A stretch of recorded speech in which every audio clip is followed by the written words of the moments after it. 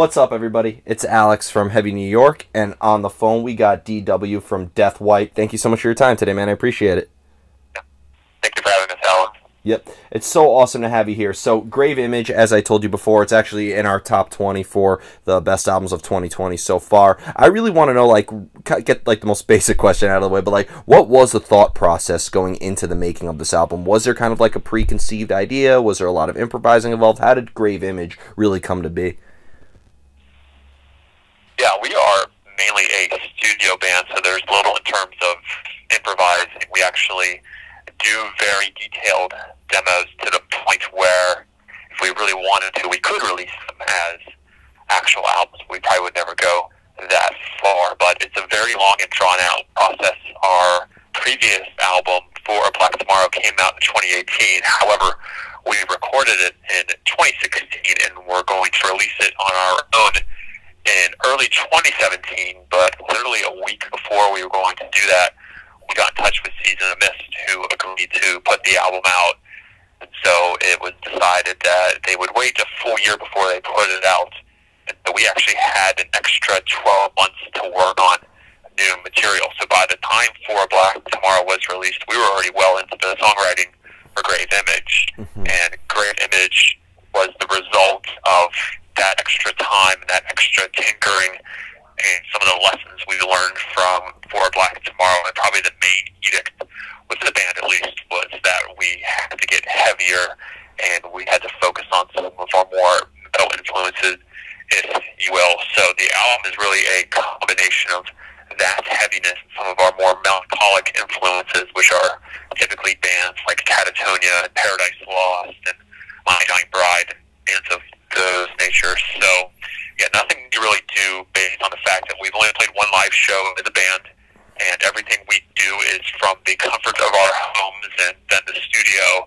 Nothing we do is uh, improvised. It's, it's always a long and drawn out process that requires a lot of tinkering and observation and back and forth between the four of us until we agree upon a song. So it's it's a very long but rewarding process, and we are now back in it again, thinking about album, album number three. So it's we're using this time in quarantine to the best that we can.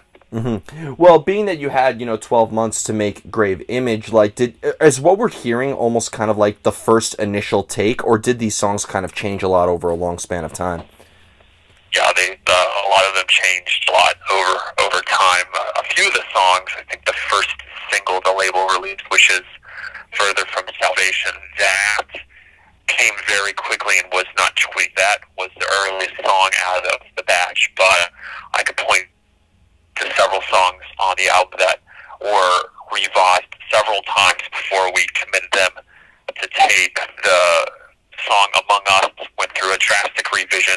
I think we almost doubled the tempo when that song came to fruition. The early version of the song was much slower and doomier, but it just didn't quite seem right with us the last song on the album, which is Return to Silence, we must have changed the chorus at least four or five times before we came to a good spot with it. But those are the type of things that you do as a band if you don't feel comfortable with something and if not everyone is happy, then it's probably worth revisiting those ideas. We're not one of those bands, I'm sure you talk to a lot of bands who tell you that they go with the first take or they improvise something and they just go with it we're not really that type of band. We we tend, and maybe to our own detriment, to mull over our material uh, quite a bit, and so that this is where all these revisions come in and these changes, and that's just a natural part of the songwriting process. It works for us. It may not work for other bands, but two albums and two EPs in to our career, this is what's working for us, and I would imagine we'll be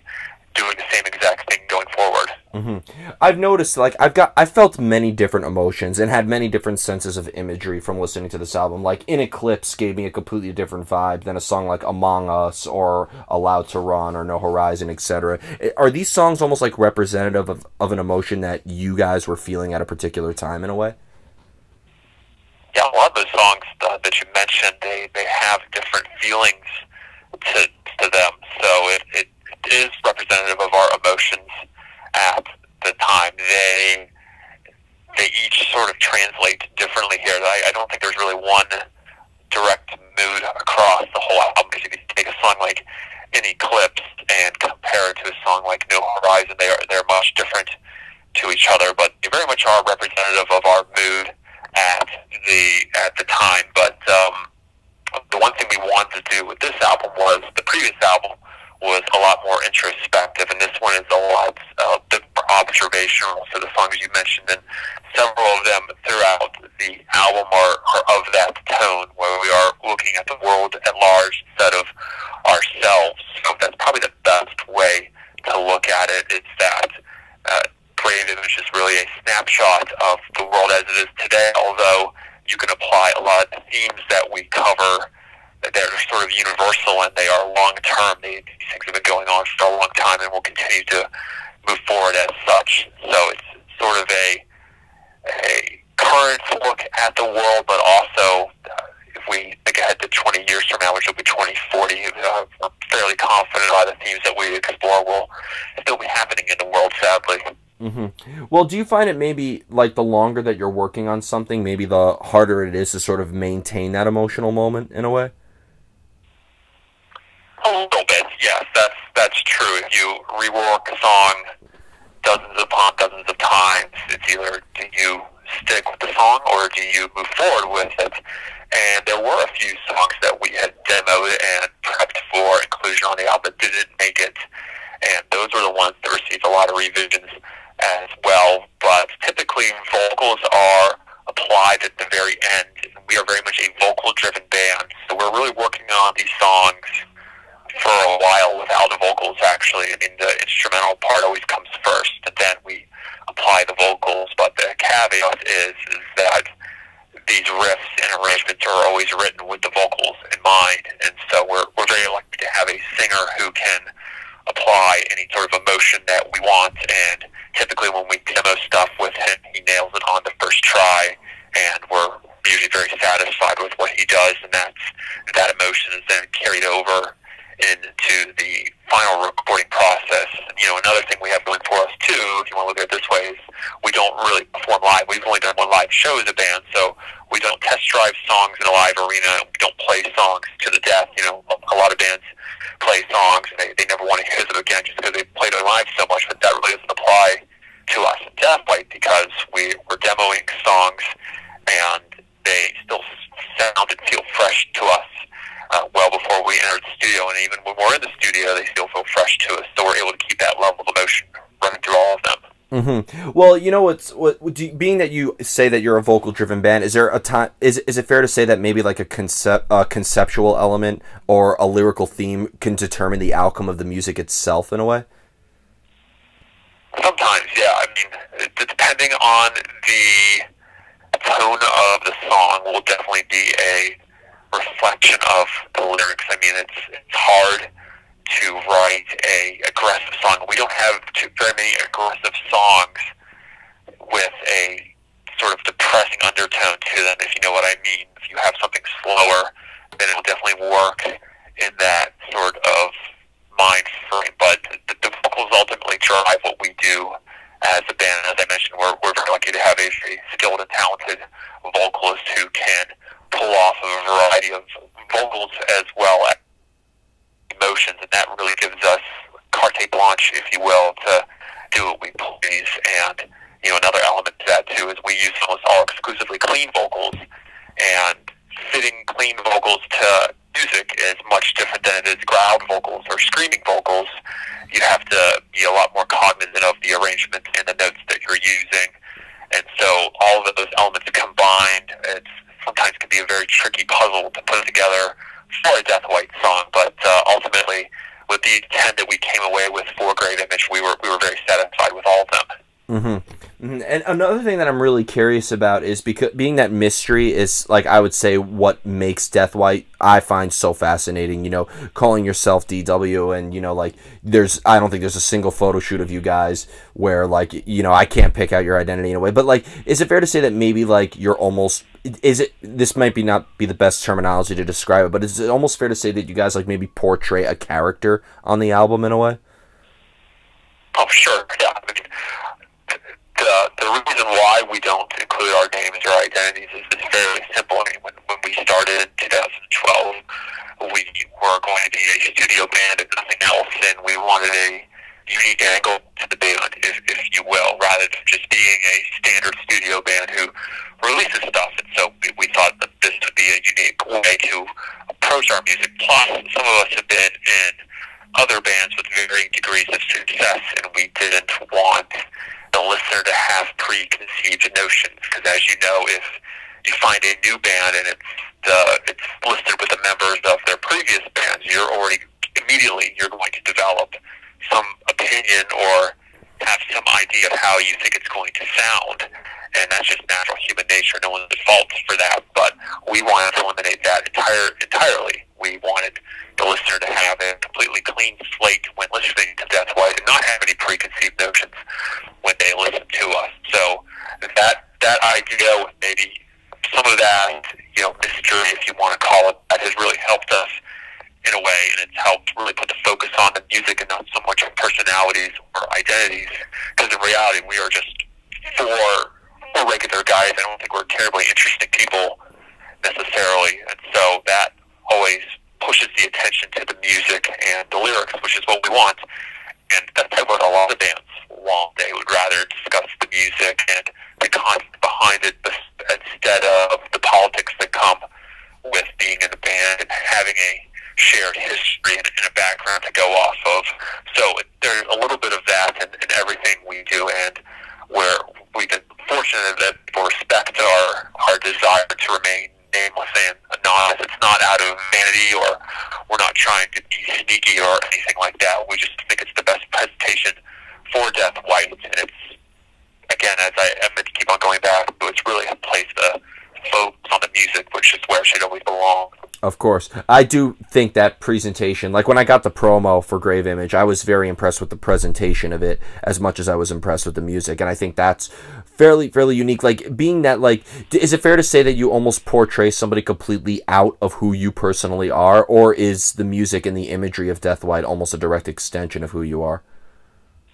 Probably more of a direct extension. I mean, we all have feelings of a whole broad array of feelings ranging from melancholy to happiness and everything in between. And uh, some of that is reflected in our music. I, we're, we're definitely not a happy band at, at all, but sometimes there's a silver lining within our music. So it's more of an extension of who we are, and especially with this album, is a reflection of the world as we see it. If you think about things that are going on that really just you scratch your head with relation to climate change or how uh, truth is is used in sort of uh, now as a forgotten entity in the world. It seems that uh, people will make up their own reality disregarding the truth. Several of the songs sort of tackle those themes and just the destruction of the world at large. Is, these are very sad things, and this is how we feel we, we think about future generations or the world that we continue to live in. I mean, all of us in the band are, are pretty young guys for all intents and purposes, and so I mean, we have to suffer the consequences of these decisions being made. So uh, these, these are personal feelings, and then they're reflected in our music, but we're, we're more observational. We, we try not to be pushy about it. The listener can ultimately make their own mind with our lyrics. There is certainly an abstract element to all of them, but I think once you really get to the core of it, people can figure out what we're going for. So yeah, the, the Death largely is an extension of the four of our the four of us and our personalities. Yeah, I love the way that you just answered this question because I, I've had this discussion with a lot of artists before about art being open to interpretation.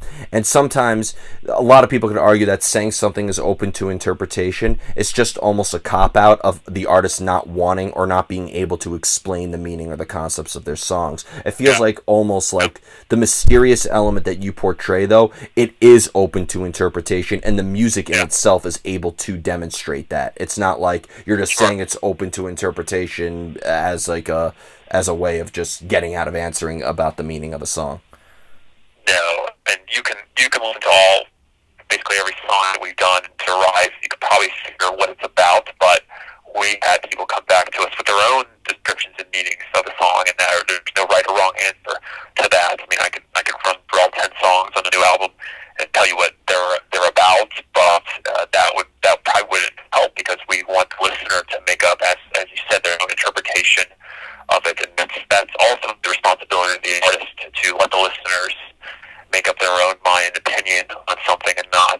be too pushy mm-hmm. about it. So, so yeah, that, that's a very good way of, of portraying things. And, you know, some some artists, as you mentioned, definitely do go that route. They they don't like to describe their lyrics or, or things like that because maybe they don't know what they they're about. But I don't think that applies to Deathwhite. Yeah, especially because I feel like Deathwhite, like I feel like just from analyzing both like the lyrical, the lyrics in itself, and the vocal style and the music to support it, it almost um it, I think it's fair to say that you tackle things from both a very literal and very metaphorical standpoint, right? Yeah, yeah. We try and we try and sport gap, I guess, play both sides of the fence because we could really get very metaphorical and analytical if, if we wanted to. There are some very skilled lyric writers in the, in the band that could go this route, but then you think about the fact that we have a clean singer and you want him to sing stuff that maybe could be easily digestible, and we're not afraid of that at all. We're, we're not afraid to have, dare we use the word catchy choruses. I know that's, that's sometimes a fraught term within metal sometimes, but we're not afraid to have those. So it's, it's a it's a really delicate balance, and there have been some times where we probably have put together lyrics that, that are a bit too too deep and confusing, and so we, we always try and simplify them and, and make them easier for for everyone involved. So it, it really is a balancing act, something that uh, we're we're not quite there yet. I, I think we've gotten better with each album, and it's something that you could probably never master.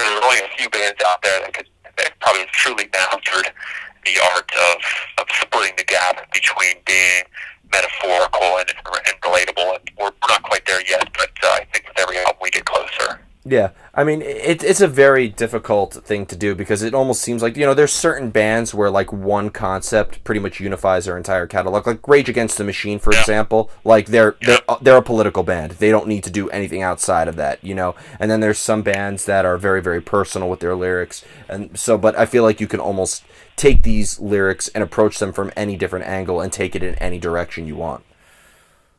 Right. Exactly. No, I would agree with that. Yep. And the final question I wanted to ask you is you said that you're using this time of isolation now, which I think is great because I've always said that isolation is sometimes the greatest fuel for art, especially for the musical style that you do. Are you planning to make a direct continuation of what we were hearing on Grave Image, or is this going to be almost like a new start for Deathwhite in a way? It's hard to say. We have been working on the demos for the next album since probably late last year. We have right now at least three songs that are, are ready to go, and then several more in varying stages of completion. We're all spread out now in the United States. Uh, two of us are still here in Pittsburgh, which is considered our home base we have two other guys who are in the southern parts of the state. So uh, even without the quarantine and what's going on with the pandemic, we, it's unlikely we'd be, we'd be getting together much anyway. But we, we typically do start to trade files once the demo process continues, and it looks like we've set a hard date of sometime in September to really hunker down and, and start the, the hard work on uh, the demos for album number three. But so far, are a continuation of Grave Image. Some songs are a little heavier. We some of us in the band actually have an extreme metal background. Some of us have been in death and black metal bands, so some of that may creep in to some of the, the new songs. And then conversely, a few of the new songs are sounding more minimal than anything we've done before. So that's always a challenge with with writing albums. Bands do this all the time. It's if you find a formula that works, do you stick with it and just continue to recreate the same thing and sort of ride off into the sunset doing the same thing for the rest of your career?